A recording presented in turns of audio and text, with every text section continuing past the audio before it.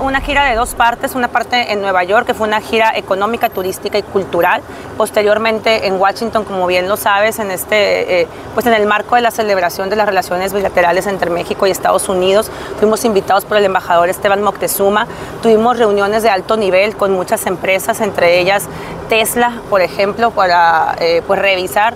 cómo podemos ser parte de la proveeduría y de la cadena de valor de, Tesla, eh, otras cadenas turísticas de cruceros que quieren venir a invertir a Baja California, muy interesante, ya en su momento lo estaremos compartiendo con todos ustedes, y otro tipo de empresas que eh, pues desean eh, venir a Baja California. Hay que recordar que el nearshoring es, nos pone a Baja California como una de las principales entidades federativas en la República Mexicana